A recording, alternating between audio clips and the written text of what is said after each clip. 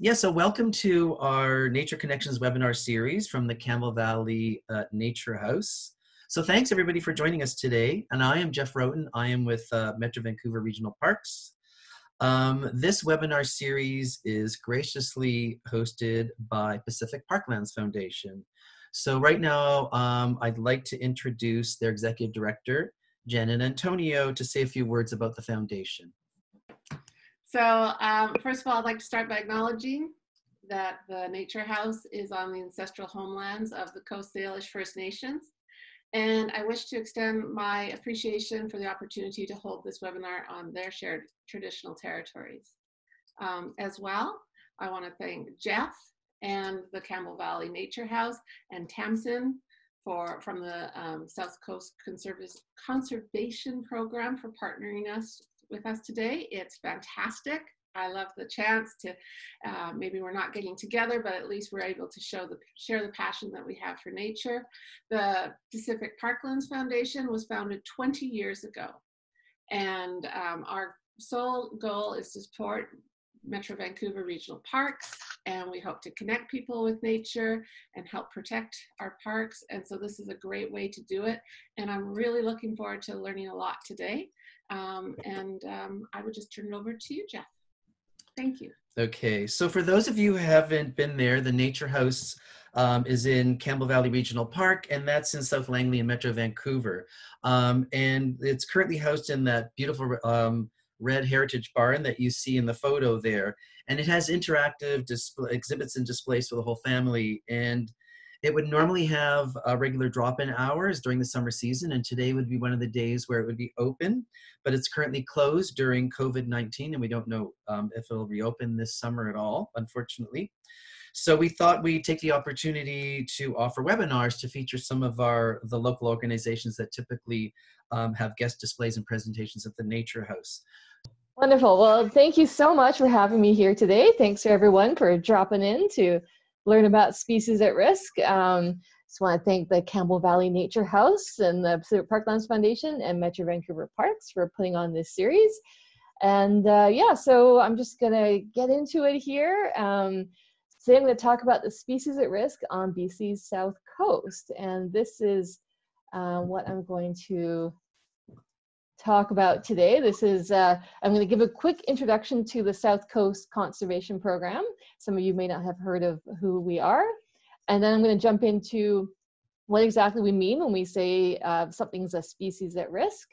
Uh, then I'm going to talk about some examples of local species at risk. And then uh, the end of the presentation, I'm going to talk about ways to help, um, mostly ways that people, um, anyone can help um, on their properties um, and how to be a, a, good nature steward. And then I'll wrap up with um, everything I'm talking about is uh, found online. I'll, I'll direct you to where you can get uh, that information and more. Okay, so the uh, South Coast Conservation Program, we've been around since 2006, and we're a multi-partner group um, made up of a whole variety of organizations, uh, federal government, provincial government, um, academia, so like UBC, uh, NGOs, First Nations, uh, anyone, a lot of people who work on issues around uh, or protecting species at risk uh, in the region. And our group was formed to help coordinate and facilitate um, projects and activities to um, restore and protect species and ecosystems at risk. And uh, now you're probably wondering what I mean when I say South Coast. Uh, this is the area that I'm talking about here that we cover. Um, it's quite, this is, uh, consists of five different regional districts. So way up to the Powell River area, to the uh, lower, the Sunshine Coast Regional District, the Sea to Sky area, Metro Vancouver, and into the, the Fraser Valley. And this area, I'm sure you all are very familiar. Um, we live in an area that has a whole range of habitats from the ocean, the rivers, um, streams, wetlands, mountainsides, forests, grasslands, we got a bit of everything here. And that really means we have a high level of biodiversity. And there are about uh, 60 species at risk um, that are listed in this region. Uh, I will not be talking about all 60 today. uh, I'm going to pick a few and I'll focus on those. But it's a pretty special area that we live in with lots of different uh, habitats and a lot of cool critters. And okay, so then I'm going to talk about um, what do I mean when I say species at risk? And this is what the uh, SCCP and others um, sort of uh, consider as species at risk. And I'm going to talk about some of the reasons why the threats behind um, why some species are, are considered at risk in this region.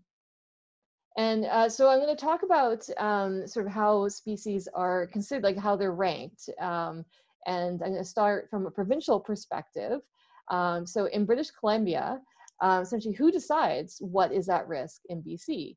And it's about experts um, identifying levels of threat for different species and ecosystems. And it, they look at the data and it's usually, it's the, through the provincial government's BC Conservation Data Center, and they will determine, um, looking at, at the information that they know, whether species are red, blue, or yellow listed. And I'm sure many of you out there have heard of um, red listed species, blue listed species, and um, so that's where this comes from. Is is this is um, there? It's an indicator list that that sort of is to guide and to show where experts think how these species are doing in BC. This uh, listing system uh, has no legal um, protection behind it. It's really, as I say, it's for guidance. Um, it is very helpful. And uh, so red, red listed um, means either extirpated, meaning they're no, no longer in BC, endangered, or threatened. Um, blue listed means a species is of special concern, so there's reasons to be concerned that its populations aren't doing as well. And yellow means the data indicates the species are not currently at risk. Um, so in this, the pictures down below, uh, that bird to the left is a, a, horned lark. It's a Strigata subspecies that used to be here on the coast um, and is no longer here in BC uh, on the coast region, so it's extirpated um, from BC. And then in the middle, you've got grizzly bears, um, and that those are um, considered blue listed. And then the other interesting thing about the BC Conservation Data Center is they actually will list ecosystems, so different combinations of plant communities um, and, and designate them. So this picture to the right is of a coastal sand ecosystem. And so this is a really unique combination of plants that are uh, have been evolved to adapt and they survive in this really harsh condition. And that's considered a red listed plant community. Um, and then, okay, so then before we go forward, um, I we got this great feature within webinars. We can do a quiz. So I'm going to ask uh, Jeff to throw out my first series of questions. My first question, sorry. Jeff, if you're um, able to, to do and that. that's the invasive species? No, that's the... The species no longer found. Okay, yeah. Yes, yeah. So this okay. is a, a, test for you guys. This is going to be this is a list of okay. Yeah. So which of these species are no longer found in BC? What do you guys think? So again, so just click on your answer. Which one's extirpated? Okay, Everyone waiting answering? for people. People are deciding. Okay. okay. That's interesting. You might recognize what these species are, hopefully, some of you. Okay, so Maybe. burrowing owl, northern gos, is it, how do you say it, goshawk? Nor northern goshawk. Duck, western pond turtle, rubber boa. That's a snake. Okay, I'm gonna give people a couple more seconds. I think a couple more mm-hmm. seconds. Click on your answer. I think that's probably it. Okay. Okay, see if you got it right.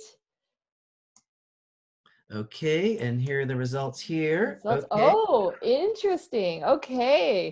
well, so I know I this is a uh, twenty percent of you got it right. The western pond turtle um, is no longer found here. We only have one native species of turtle. It's the western painted turtle. Um, yeah, but the rubber boa, that's interesting you guys uh, thought of that because you wouldn't think we would have, you know, do we have boas here? And the answer is yes, actually. Um, and but they are very hard to find very elusive um, they're at risk for a reason um, but i was talking to i i have a project a, a, program i run which i'll talk about later where I, I visit landowners and I was out in the Chilliwack River Valley area yesterday, and a landowner was telling me she'd seen them in the area, not recently, but but there. So uh, I've had hopefully confirmation they're still still around. And anyway, so yeah, that that was interesting. Thanks, guys. Okay, uh, so we're gonna keep moving on here. And uh, okay, so now we're gonna get into we're gonna just touch on some of the, the legalities of, of, species at risk. So you're probably wondering, okay, what does it mean and they're listed? Um, so BC protects species under several acts. Um, and the only one I'm going to touch on today is the BC Wildlife Act. Um, and under the BC Wildlife Act, they're they have designated um, only a handful of species are actually officially listed as um, as at risk, and those the three the ones that are endangered are the burrowing owl, American white pelican, and the Vancouver Island marmots, of which this is a little a picture of. Uh, the sea otters listen, listed as threatened. And that's it. Um, there are obviously a lot more species that are considered at risk, but they're not part of the act yet. So that's something that would be nice to update or change in some shape or form.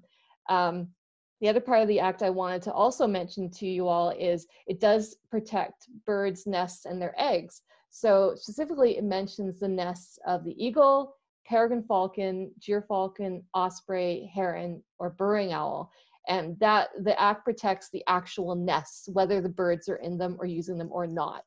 Um, so that's also a handy um, thing that, that the act has. So that's uh, so more legally um, how our species are listed in BC.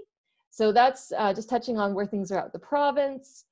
And then I'm going to talk about uh, species. We are very interested um, with the SCCP and, and how species are listed um, uh, in Canada federally. And uh, there is a organization called the Committee on the Status of Endangered Wildlife in Canada, or known as COSEWIC.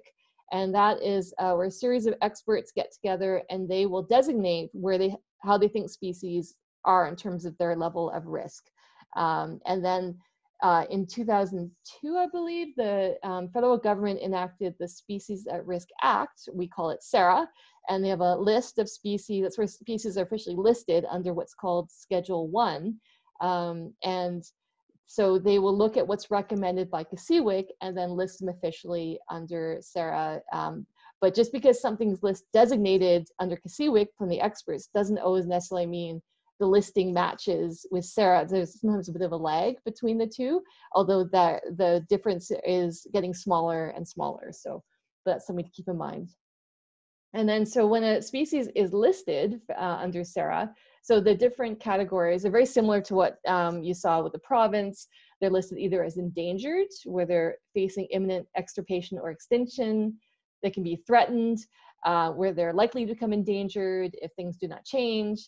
Um, and if a species is listed as endangered or threatened, then uh, a team of experts will create what's called a recovery strategy, a detailed document that will should also map the areas where these species need to survive. And by the areas, it means it's called critical habitat, and it has to do with these areas that might have the biophysical a- attributes needed for these species to survive. And this map I have here is of the Fraser Valley. It shows a bit of Sumas Mountain and Chilliwack Mountain um, and Vedder Mountain, and just shows different polygons and areas that have been uh, identified as um, critical habitats. And it doesn't mean that, that those areas are protected, it just means they should be looked at to, to see if they have features um, regarding um, the keeping these, these species to help them survive.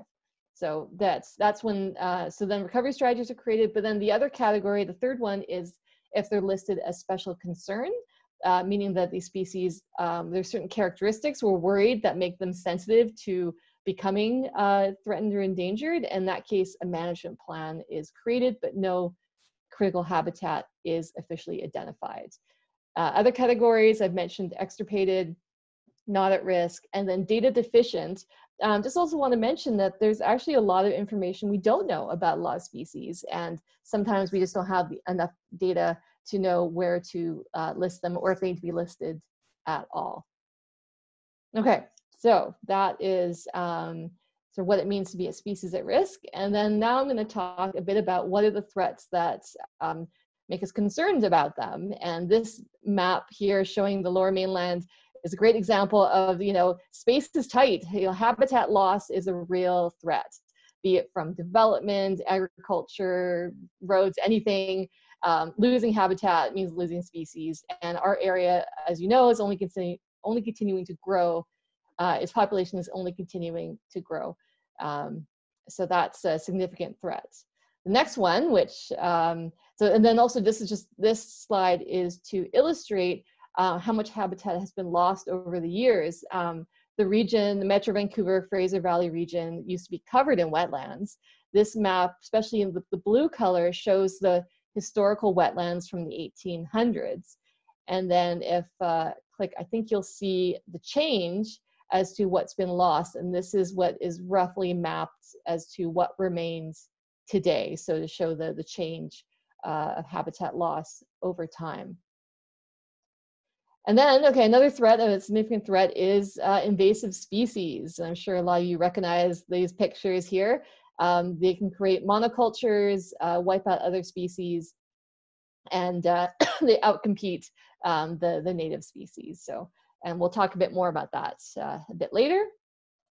Okay, and then the other sort of threats I wanted to mention um, are cute and cuddly pets. Uh, cats, unfortunately, when they're let outside, can be quite um, they they do like to hunt uh, even if they're fed nicely they still catch birds and rodents and excuse me they can um, uh, when everyone everyone's cats is outdoors they can make a real dent in the biodiversity. So we try and encourage people to keep their cats indoors um, and then with climate change is another issue um, as things get warmer a lot of this and um, species uh, can't adapt to those habitat, the, the temperature changes um, and the habitat changes, they can't adapt fast enough. So that also can lead to, to issues with their populations.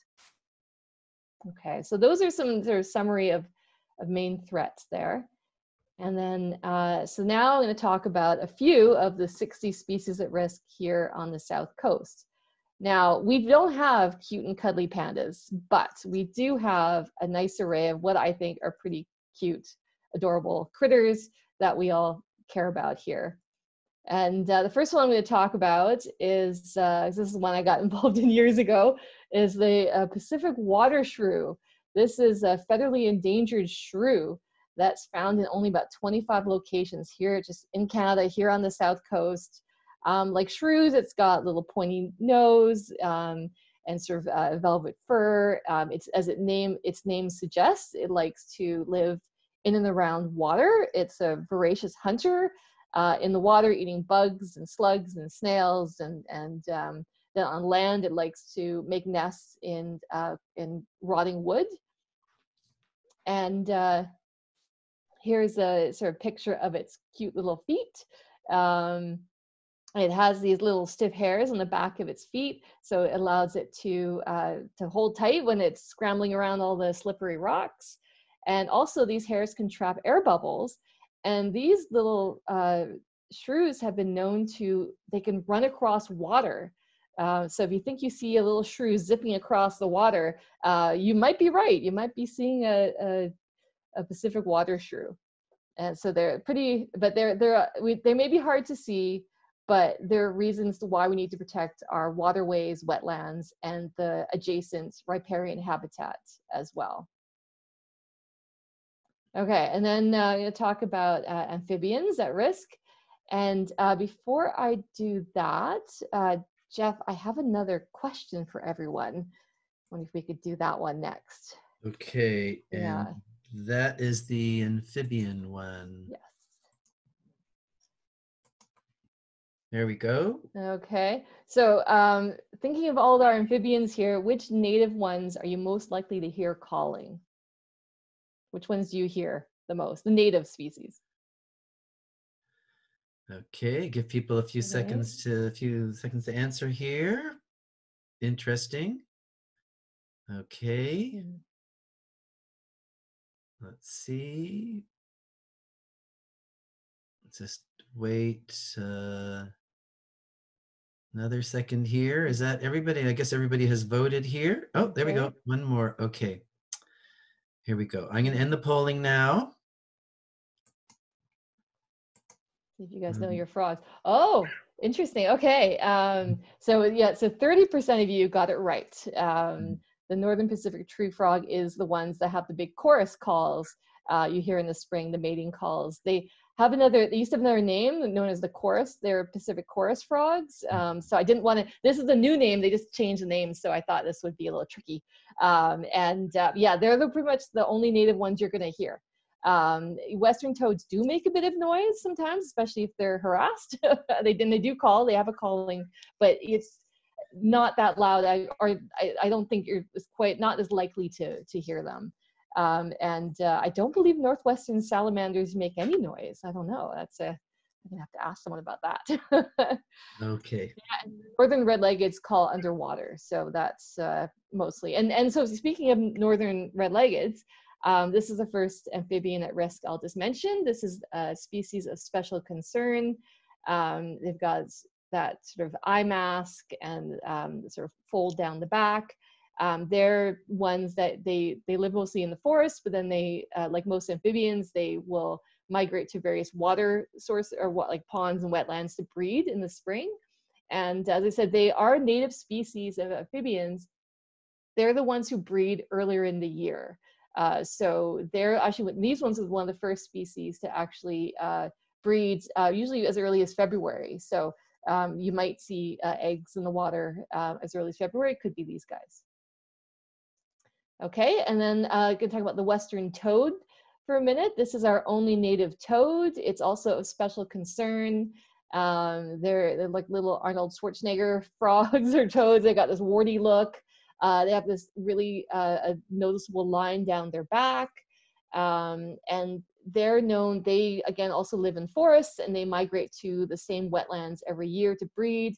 Um, and they're known because they breed a lot of eggs and then their little ba the baby toads, the toadlets, they all emerge en masse and migrate uh, together um, later in the, the summer. Like, and now they're starting in some areas. Um, and these you may so you may hear uh, news stories about toadlets crossing roads and there's a toad tunnel was created in Chilliwack to help them cross the road in one area so that with the Fraser Valley Conservancy so these little guys are so you might hear stories about those and then um, but are these all the frogs uh, at risk uh, or they're not um, uh, the other one to mention is the Oregon spotted frog, the most endangered frog in Canada. There's a picture there in the bottom right? And uh, they can be confused a bit with red-legged frogs, but they are quite rare. They like to live in shallow uh, wetlands.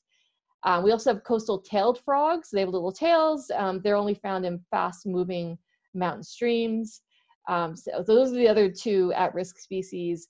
And I mentioned um, we do have the Northern Pacific tree frog. That's the one you hear the most. It's not at risk, but I mean, I certainly hear a lot of stories of people saying they used to hear them and then they don't anymore. So it I hope as long as we protect their habitat, the wetlands and forests, that uh, they will not become at risk. Uh, threats to these guys too, there are invasive frogs in the area. Um, you probably heard of the American bullfrog uh, and then the green frog as well. And those are uh, two that are taking over. So, so recommend that, you know, never ever move frogs, frog eggs, um, keep them in place. You don't want to be spreading um, invasive species accidentally or spread disease as well. Uh, another uh, amphibian is the coastal giant salamander. Um, they are threatened in Canada, the largest salamander, and they're only, found in the Chilliwack River watershed. Um, they have two different, some of them just stay in the water, others will then uh, evolve to stay on land. Um, I've heard these guys can make a noise that they possibly can bark a bit, but I've never heard it. But you know, so maybe there's another vocal uh, amphibian that vocalizes as well. Okay, and then uh, moving on to snails, we also, uh, there is the Oregon forest snail, a large land snail that lives here um, across the different populations across the Fraser Valley, lower mainland. Um, it's federally listed as endangered, and it's found mostly in areas with stinging nettle and big leaf maple. And uh, we have a guide I can show you later on how to identify snails so you can keep an eye out for them yourself. And, uh, and then talking a bit about birds, um, everyone loves owls. And uh, one species at risk for owls is the western screech owl, which is currently listed as threatened. Uh, these owls, you know, back in the 70s, I mean, they were found all over the lower mainland. Um, but in the past, you know, 30, 40 years, their their numbers have just dropped precipitously um, through various reasons, possibly habitat loss, um, the uh, barred owls moving in, which um, are some more aggressive owls. And uh, now they're only really found in a, in a small handful of areas in, in the south coast. Um, they do not screech. Uh, you ever, you should go online and listen to what they sound like. Their call sounds more like a bit of a bouncing ball. Um, this, the owls that do screech are um, barred owls, which I'll talk about in just a second too. Um, and I just want to mention too that when it comes to uh, birds at risk, um, some people are surprised to hear the great blue heron, the populations we have here on the coast are considered at risk. Um, our heron populations live here year round. Um, I'm sure many of you know that they sometimes will nest in large colonies, um, not always. Um, sometimes they, will just nest they'll, a, with a series of a few nests. But um, these species, their um, breeding success has really dropped a lot since the 70s. And so there's sort of an interesting trend. We're concerned about them. Um, they're listed as special concern. Uh, we're worried they might become threatened, but their populations seem to be doing okay at the moment. Um, but their, their threats can be things like eagles, uh, which whose numbers have gone up, and also um, sometimes their colonies are very sensitive to disturbance around them. So if they're not used to noise and someone you know, fires up a chainsaw that can cause the the young, the birds in the nest um, to abandon the the nest. So that's the you probably I'm sure you guys have seen them everywhere. Um, they're quite common in the in the region. And then just to wrap up with birds, um, you know, barn owl is also another species at risk uh, as uh, the various barns get torn down, um, and uh, then barn swallows as well are uh, birds that they're little birds that eat insects and insectivore. Uh, those birds are populations are been not doing so well. Um, so one thing we're trying to encourage people to do is when they have barn swallow nests on the side of, of buildings is so they can make a real mess and sometimes people will just knock them down. But we're trying to, to encourage people to um, keep those nests, um, in, enjoy that you have barn swallows and let them survive survive there because they're um, not not nearly as many as there used to be um, several years ago.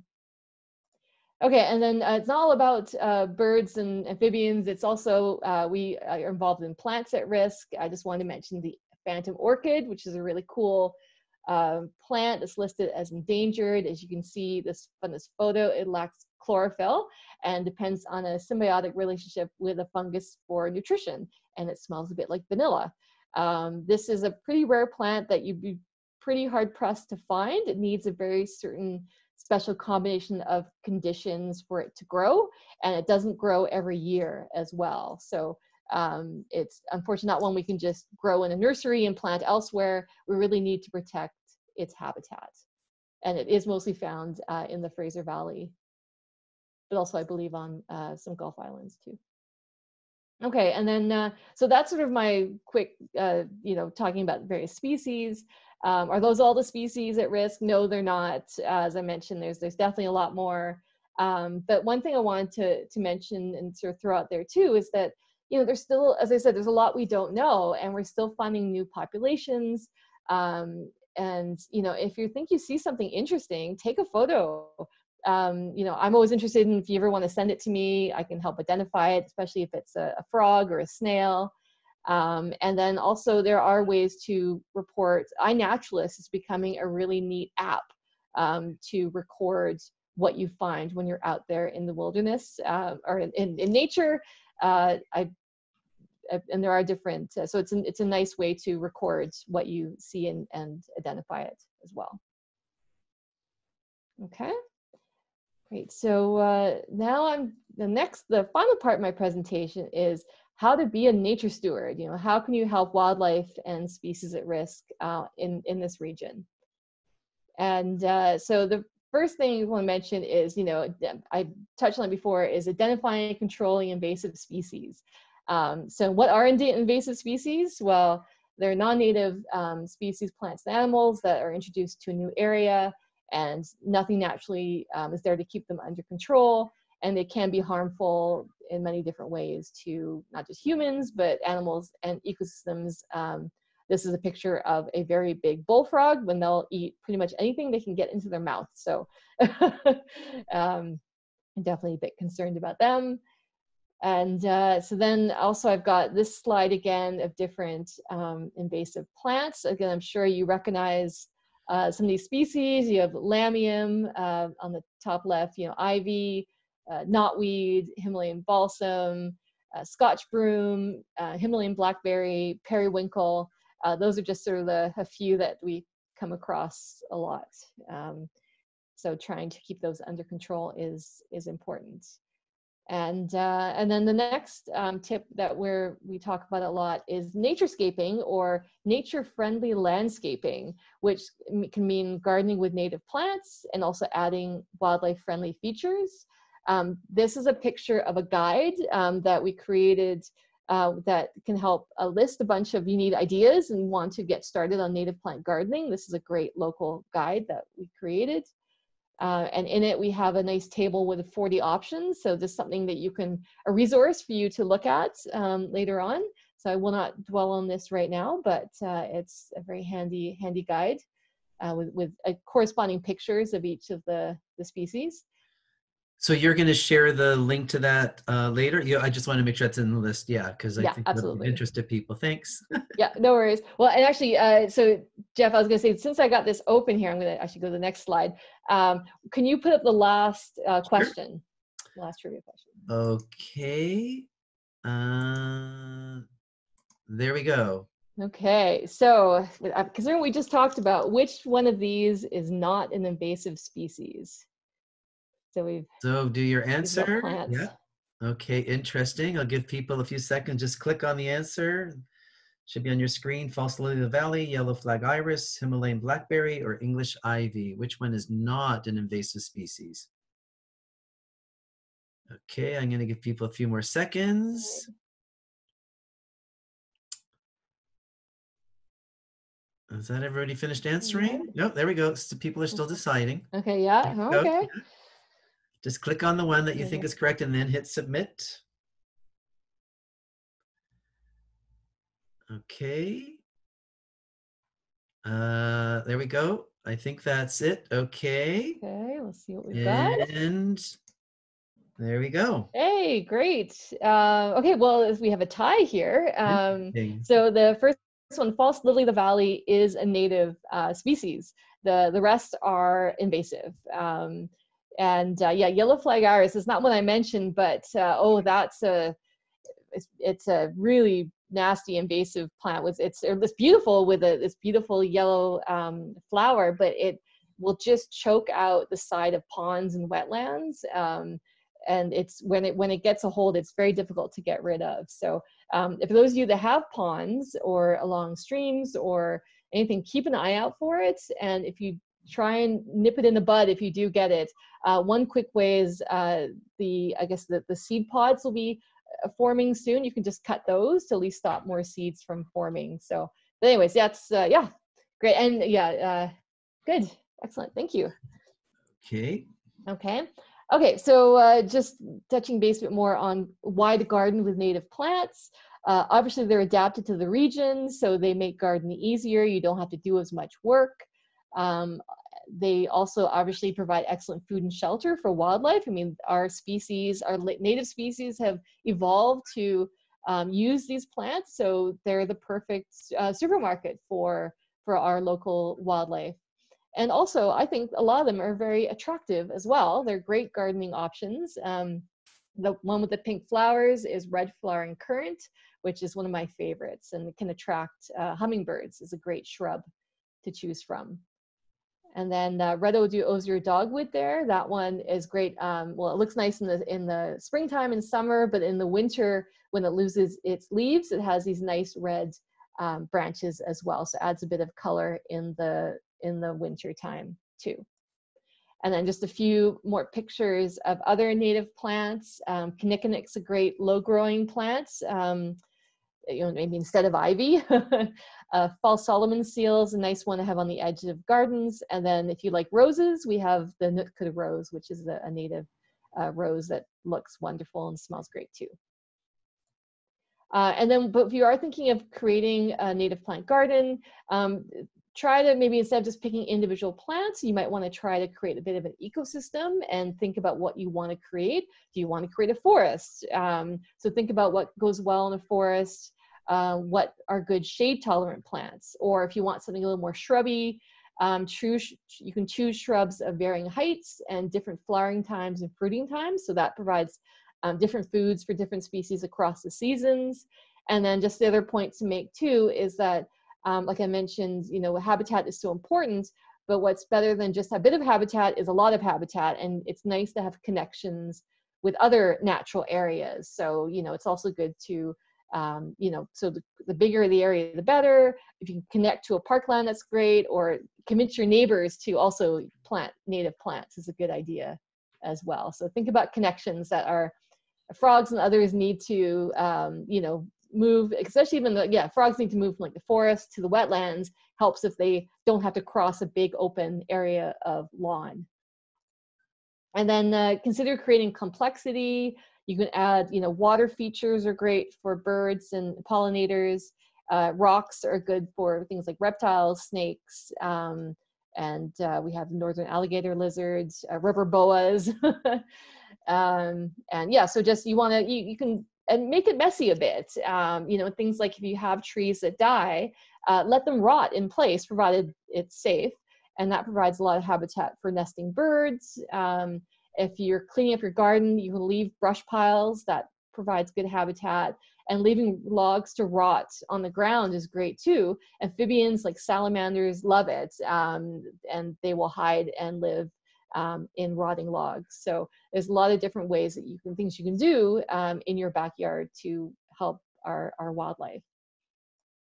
And then uh, just to sort of getting to wrap up here, I was going to mention um, a program that I run in conjunction with the Fraser Valley Conservancy is we have our Nature Stewards program, where if you have a property with wildlife habitat, we will come visit um, give you advice, free advice on how to make it better for wildlife. And that's mostly in the Fraser Valley right now. Um, so if you're interested um, in possibly uh, the program, email me and I will send you some more information. Uh, and then I've talked a lot about different species. Um, we've created these species identification guides to help you when you're out there and you see something and you want to know what it is. Um, so we have our frogs guide, our salamander guides, um, amphibian eggs, owls, and snails.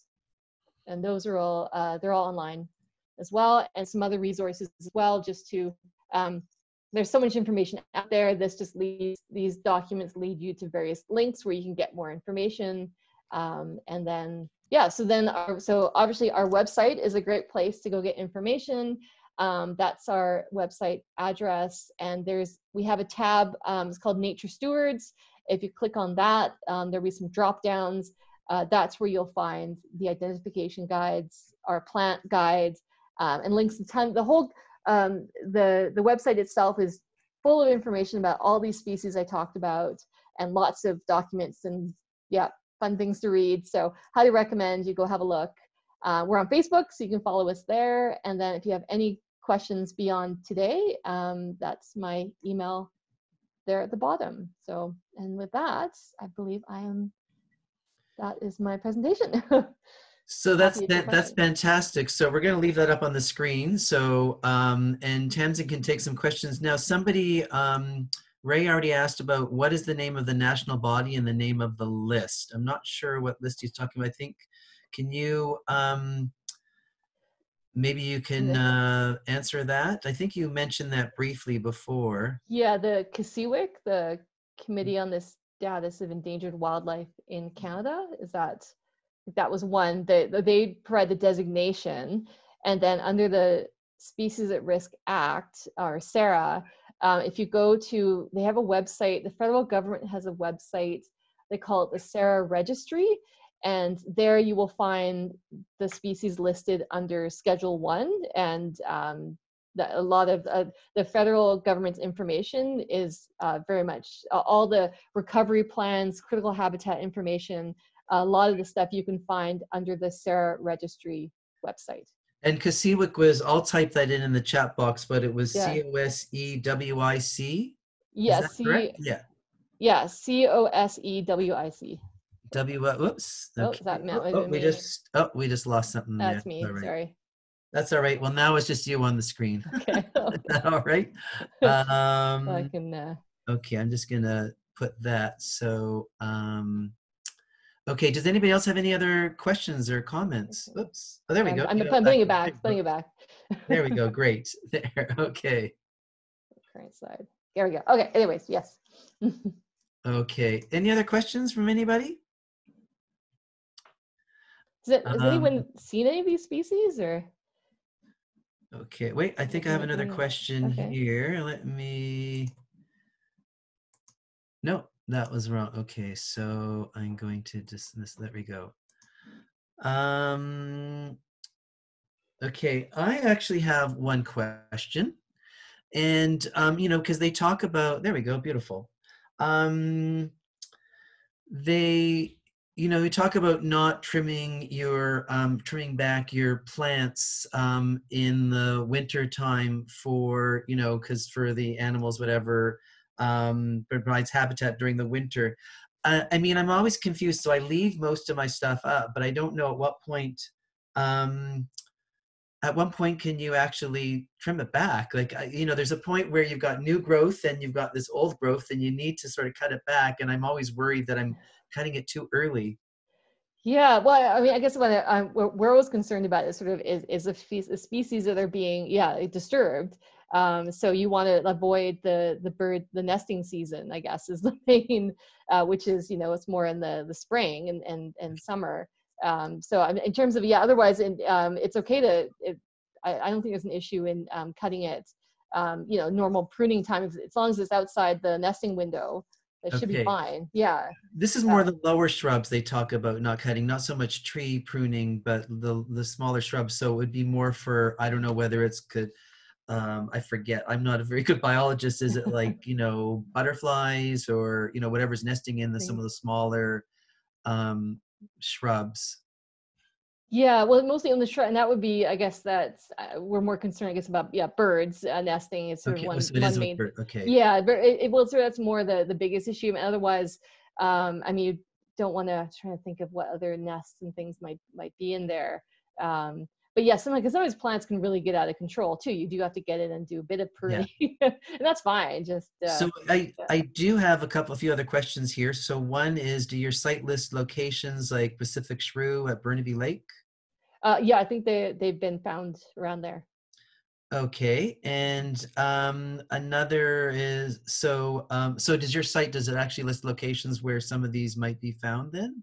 The if you uh, so that's when you could look at the recovery strategy um, for the species so if you if you go to the the SARA registry website and find the the pacific water shrew you know the page um, the document and you can look at the maps the critical habitat maps which will show um, where roughly where where the SODs hasn't been found, but where the habitat and usually it's based around where they they've been found historically or well or find found recently.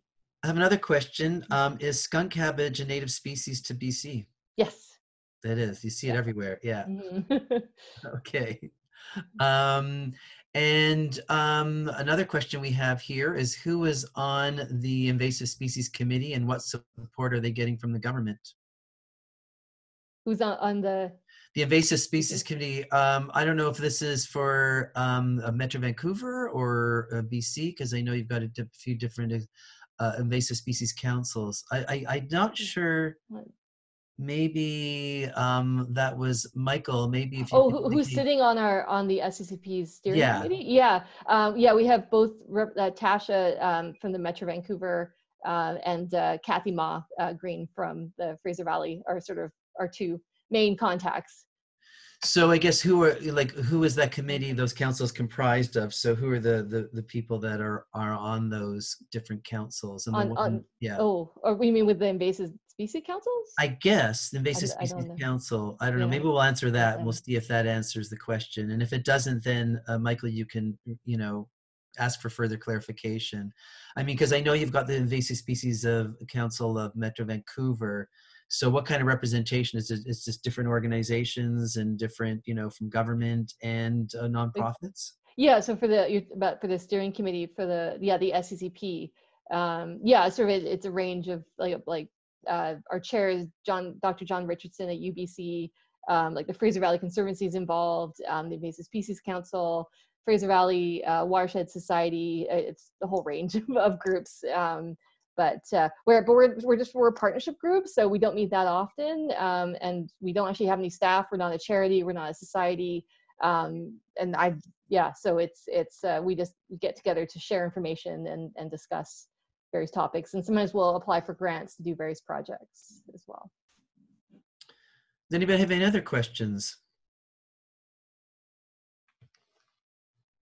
Um, I was just going to comment that uh, if, if, people are typing in, um, if you have any questions, uh, yeah, we have um, both in Campbell Valley and in Derby Reach where the western toads crossing the road. So Campbell Valley across 200th, um, we have those new wetlands that were created just north of 16th and they cross the road there. And I know at Derby Reach, um, you know, crossing Allard Crescent, and those are both two sort of problem areas um mm-hmm. yeah yeah it's that's a, it's a challenge um, i mean that's why they in the it, the chilliwack one the tunnel it's in the ryder lake area and we studied because uh, it with the community brought it to the conservancy's attention quite a few years ago um, it took a few years of studying and and kind of figuring out okay if we were to put it in the tunnel where where should it go um, and the, they don't always uh, cross the same spot always they are unpredictable but um, it, it has worked and we, we put up directional fencing uh, every year as well to help direct them towards to go under the tunnel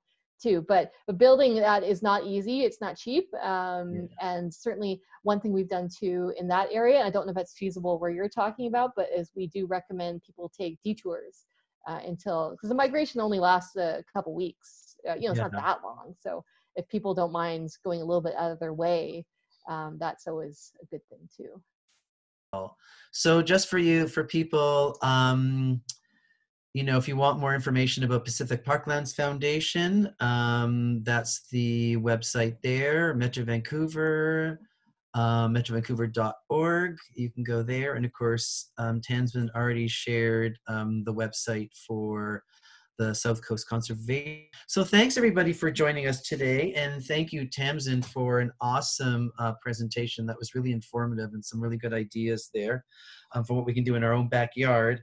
And, um, and also, yeah, thanks to Pacific Parklands Foundation for sponsoring and hosting this series of webinars at the Nature House. Really appreciate that.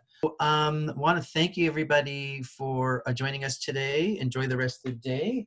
It's it's sort of sunny where I am, and uh, yeah, just enjoy the rest of the day. Thanks again. Bye bye.